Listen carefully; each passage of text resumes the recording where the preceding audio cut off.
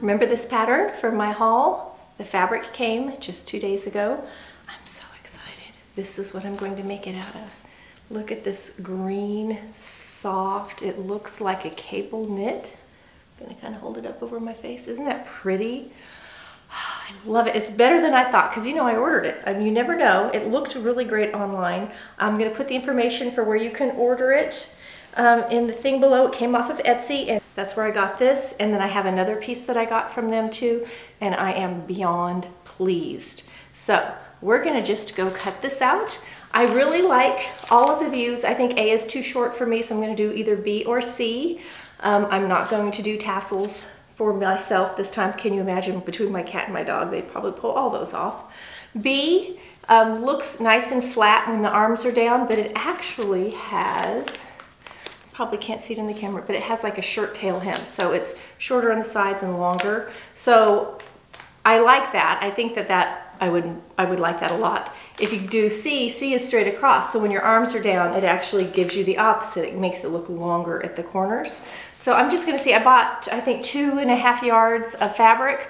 We'll see how much, which one I can get. If I can, I'm going to do B because I like the um, that shirt tail hem that creates the straight across illusion if possible. And uh, A doesn't have a neck, uh, collar neckline and B and C both do. I think I'm going to do the neckline, the little collar on it. So we're gonna head over to the cutting table and cut it out.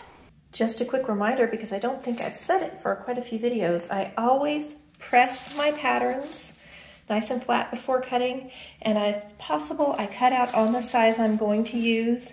If I know I'm going to use it for multiple sizes, I will trace off the size that I'm going to use to preserve the pattern sizes. Have I mentioned how much I love this fabric?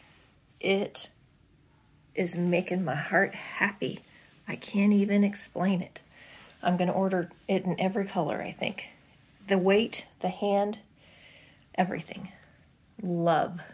This is a directional fabric in that it has this little V and they always face the same direction. Sometimes in a pattern like this, you'll see them flip where the V will go down on this one and up on this one, but this one it doesn't. So you just want to make sure if you have something like that, that you lay out so that the tops are always the same. So on this piece, here's my um, back, and you can see it's just laid out on the fold normally. My front, I flipped over so that the fold is the same, um, and the top is the same to keep uh, the, the design of the fabric copacetic. I've cut out my two big pieces. They're right there. Pardon the messes because I am cutting in storage space, soon to be annexed sewing space. But I've refolded this last bit to get the little sleeve cuff bottom out of it and the collar. And the reason I did is this is almost the identical color in my kitchen um, on part of my cabinetry. And I have a little seating area in there. And I would like to make a little um, pillow cushion to cover a pillow to match. So I was just trying to get just enough so that if I, possible, I might get a little cushion out of it. And I did. I think I can get a cushion. So I was being super parsimonious with my fabric. So I didn't have to order some more and I could use up my scraps in that way. So sleeve, collar, almost cut out, ready to go sew. Let's have a quick discussion about how we're going to be putting this together. This has 5 8 inch seam allowances, and you can see they've sewn, shown it sewn with 5 8 inch, and then they pressed open their seams. Now, this shoulder seam could totally be serged, and I'm going to. However, everything after that should not be serged. It's going to be just stitched. So I'm going to serge, right now, I'm going to serge this shoulder seam, then I'm going to open it up and I'm going to seam finish all the way around the outer edge. So I'm going to make it flat. It's going to look like a big flat blanket kind of. And I'm going to serge around the edge. Then I will come back and make this little stitch at the sewing machine. If you're not doing the collar, you'll be turning down the collar and just stitching it. If you're going to do the collar, I'm going to sit, stitch that at the serger. Same with this part. I'm going to serge this. And then this gets sewn on here. So Um, this will be pressed open, but I believe I can serge this. We'll get when I get there, I'll tell you, but I'm wondering now. And then after that, it's just top stitching. So actually pretty straightforward, other than this little part right here. I'm not 100% sure till I get there and start pinning it. These markings on the side seam are to help you know where to sew up for your little side seam part. And then down here at the bottom, they have all these nice little circles, and that's for if you want to add the tassels. This is for tassel placement along the hemline if you choose to do it. So here's where I am right now. I need to trim my little thread in the middle where I sewed from shoulder to shoulder. All right, and as always, when working with a soft knit or any knit, don't stretch. You don't want to stretch out your neckline or anything else, but look at how this drapes. This just hangs and drapes. The weight, the hand, I'm so in love with this fabric. okay, so I've got my shoulders and I have seam finished all the way around, so I've just serged around the outer edge of the whole thing. And next we can, and it shows on our little directions, sew this little bit of underarm. So there's just like this little seam that's gonna hang down that's about this long. And on the pattern it has two little dots, two little circles. So you find the circles for your size, you make those little markings and we're just gonna do a little straight stitch in that spot about five to six inches long. It's a short little seam. So we're gonna sew both of those underneath and at the sewing machine. But while I'm, my serger's all set up and I'm ready to go, I'm gonna go ahead and sew my collar together. And the collar is easy because all it is is a tube. We're gonna take our little tube, right sides together, 5 8 inch seam allowance, and we're just gonna serge the tube there. It's gonna then fold in half to be sewn on.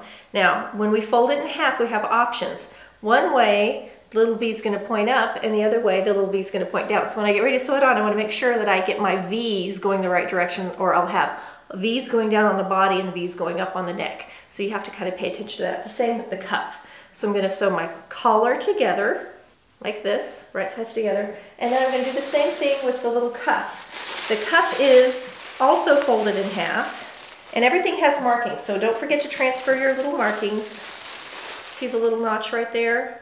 We're going to go right sides together this way and you're going to sew this little hourglass shape along here, so all along here. So we're going to sew both of those and then that will open up in half. So it's a self-faced cuff. We don't have to hem the cuff at all. So I'm going to sew both of those pieces at my serger, 5 8 inch seam allowance, and then I'll come back and we'll start putting everything together. Surprise, look at the color of threads I'm sewing with. I really like to match as closely as possible as a rule, but this is sort of an unusual sage green, which I don't have, and I'm not going to run all over Tulsa looking for it. So I dug into what I do have, and the gray almost disappears. Look at that. It really does do a good job. I went ahead and stuck the green, which is pretty close, even though it doesn't look like it. Now, I don't think, I think I'm going to top stitch in gray and not in green believe it or not, because it just disappears better than the green. I stuck the green on there where the needle goes, which is where the seam is sewn. So here's the seam. So there's a green thread there if it pulls, but I don't think it would matter anyway. I could have done the whole thing in gray. Anyway, just thought I'd let you know. And now I'm just going around the outer edge, seam finishing. Make sure you don't pull at all. Notice how it's laying nice and flat and it's not rippling, and that's what we want. So here's our collar. We're just going to fold in half, like so. And this is how it looks. It's not huge, but it will go over the head. Makes a very cute little headband, but that's about the size of the collar. And again, be careful not to stretch it.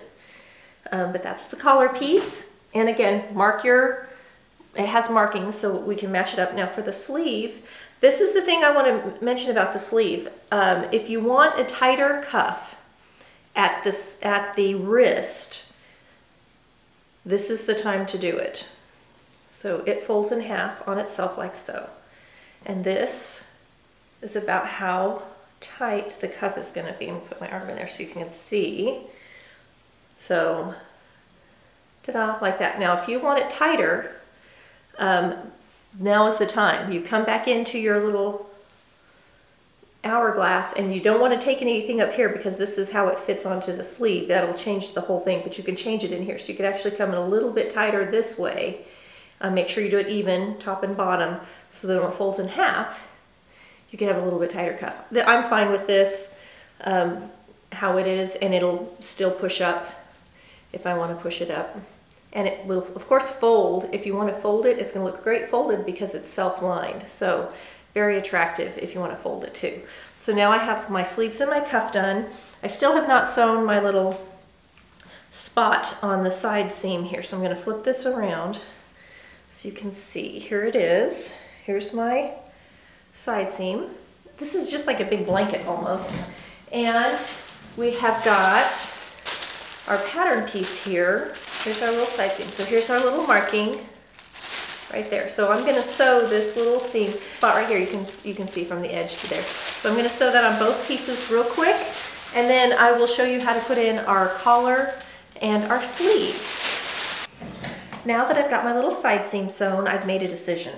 I said earlier that I didn't know if I was going to serge in this little sleeve cuff part or sew it at the sewing machine. I'm going to sew it at the sewing machine. So I'm going to go ahead and take this to the serger and with the two layers together, I'm just gonna serge around that outer edge to give it a seam finish for both little cuffs real quick. And then I can show you how to put in the sleeve and the cuff. And they're kind of similar in how they're going to go together. After that, it's hemming so fast. I love this pattern so much. I think I'm going to make it a lot. Here's the collar pinned in. I always take the seam and put it at the center back, which is the least noticeable place on me, especially since I have long hair, it always covers that seam anyway. So either put it at the seam, at the center back marking, or on a shoulder seam. That's where you want to put the seam for the collar. Now my fabric is directional, so I made sure that when it's flipped up, that the little V's face the same direction that they face on the bodice. So you can see they point down when it's finished. That's how it's going to be. So now I'm just going to serge all the way around this. At 5 eighths, there is a little tiny bit of stretch in the collar. So it very, very little, but it says it shows on the collar, it says stretch. So it's just a tiny bit of easing in, but not much, especially since it's knit. So don't pull much. You won't need it or you're going to have a very stretched out neckline. So I'm going to go ahead and serge that in. And then I will show you how to sew in the little sleeve cuff. Showing you the inside, but look, I have a collar. I can tell already I'm going to just live in this thing. So here's my little side seam. I will tell you, um, if you can see, here's how short the little side seam is. So if you're going to wear this like a shirt, which I probably am, you could easily lengthen this seam um, so that you have more coverage because right now it's about, I mean, it comes way down here, but it's only about that long. So easily lengthen this if you want to not in the little part where the sleeve goes on, the little sleeve cuffy part, but down below you can. I also, I don't think I mentioned this until this point, I lengthened the whole thing by two inches. So at the bottom, I cut it another two inches longer. And that's just because I know I'll probably wear it over leggings, um, at least part of the time. And I want to make sure it covers all the things I want it to cover. So I added just a little bit extra for that purpose. Now we're going to take our cuffs and I'm doing the same thing. I want to make sure my little V's face the right direction. So this is the right side of my cuff and here's my seam. That's going to line up with the little underarm seam. So I'm, here's my little shirt. I'm opening up the little hole here. And you can see, here's my side seam. It's just going to be pressed open or let it fall, fall open. And I'm going to slide the sleeve down inside that little hole. And I'm going to match up that seam with the little underarm side seam part and pin it and then I'm just going to pin the rest of the sleeve around like this and stitch it in on the 5 8 inch line. That's it. That's all it takes to putting in the sleeves. So I'm going to do that for both sleeves. It's a little funky. Um, it'll feel a little funky right here where you're stitching, where it comes together at the little underarm side seam part. But it's at, in your directions, have good directions as far as the um, pattern goes. So it's, it's really straightforward. We're just gonna sew around that circle at the sewing machine. Now I'm, I'm just doing a straight stitch. You can see where it is on the arm and it's way down here on my arm so it's, I've got plenty of room. If it's tighter on you, if you're shaped differently, if you have a fuller forearm, if it feels tighter for you, you may want to use a zigzag just to keep from having popped stitches, but I'm not a bit concerned about it with this. So I'm gonna put in both sleeves and then we're gonna come back and put the hem in and I'm gonna try it on. For underarm here where I'm putting in the sleeve, I just want you to see, it's hard to see, I know this. Right here is where my seam ends and that's where the seam of the garment of the bodice ends and that's where I've lined up the seam of the sleeve. So they are kind of lined up with each other. So I folded up my seam allowance and I'm actually going to start stitching right where the side seam finishes. So I'm going to start stitching here. I'm going to sink my needle here and I'm going to sew all the way around and I'm going to stop on the other side in the same spot. And what happens is it magically fits without giving me a little hole. It's pretty easy to sew this and accidentally end up with a little hole right where those two things meet. And this prevents it and will also prevent you from getting a little pleat. So you don't want a hole or a pleat in that spot, and this is how I do it. So I just went around the sleeve, and I just want you to see this is how it ends up under the arm. And there's no pleat. It looks great. Here's the little cuffy part. And here's the little side seam, and you can see how short that side seam is and how much is open. So before I hem this, I'm gonna slip it on real quick and see if I want this sewn up a little bit more um, before I put the hem in. Time to hem, and it's 5 8 inch seam allowance all the way around, so we're just going to be folding up our 5 8 inch and stitching. And you can either do a little mitered corner here at the corners of the sides where the side seam and the hem meet, or if it's me, if I, I prefer to do the bottom hem first and then do the side seam, and that just gives a cleaner look at the side. I'm gonna just do my top stitched hem all the way around. All right, I'm coming up the side Here's the bottom hem, here's my side seam. Now we have 5 eighths of an inch back here. So I'm sewing on the half inch line because there's 5 eighths inch seam allowance. That ensures that I stay on my seam allowance. When you get up here, um, you have a couple options. You can come up, pivot at the half inch, come across and back down, and that gives you a nice even look. Or you can come kind of right in line with where the seam starts um, sink your needle and they come up at an angle so you have sort of a little arrow. Either of those would work great and look nice and finished um, to just give you a, a more professional looking seam here for your top stitching. All right, there's my little corner. It's a little hard to see, but you can see that's the how it's finished inside and out. Now to try it on. A neighbor is playing either a tuba or a sousaphone. Someone must belong to the band around here. It's also like 32 degrees outside. It must be pretty bad in the house if mom and dad kicked them outside to play their tuba. I can't see them, but I sure can hear them. so we'll see if it shows up in the camera or not. All right, I'm gonna step back so you can see how this looks. This could easily fold down. Oh, I'm really, really loving this fabric. I can see making lots of things out of it. Okay, I'm gonna step back and let you see how this looks. Remember, the only thing I did differently was I added two inches in length and I sewed up the side seam a little more. I didn't do with quite as short of a seam as they had. I have less of a vent and more of a seam. So let me step back and show you how this thing looks. I think I probably could have tightened up the cuff a little bit for me.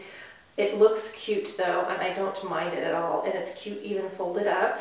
So I'm gonna fold up the sleeve a little bit so you can see. So this is how it looks. I think the tassels would be really cute if you want to do a tassel or a pom-pom or something on the bottom. But it's just a bit you're wearing a blanket with the sleeve and a collar. it's an almost um, what were those snuggies? What were those things they used to make that were like a backwards robe? That's kind of, it's not quite that, but uh, boy, this is something I can see living in. Would be great to throw over anything, like just to throw over and wear out as a little over jacket too. Oh, I love it. I really, really like it. Final thoughts on this is very fast, very easy, very cute, very trendy, very, very, very, I like it. I'm definitely um, want to try it again. I say go for it, try it. Cute, easy, fun, fast. Great little weekend project. See you next week for another fun video.